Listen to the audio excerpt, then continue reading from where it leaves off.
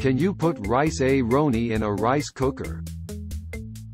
Rice-a-roni is one of those awesome side dishes that doesn't make you think very much, especially when you can cook it in a rice cooker.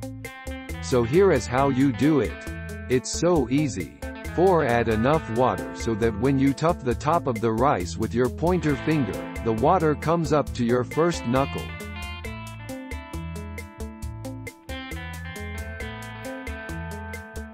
Thanks for watching. Please subscribe.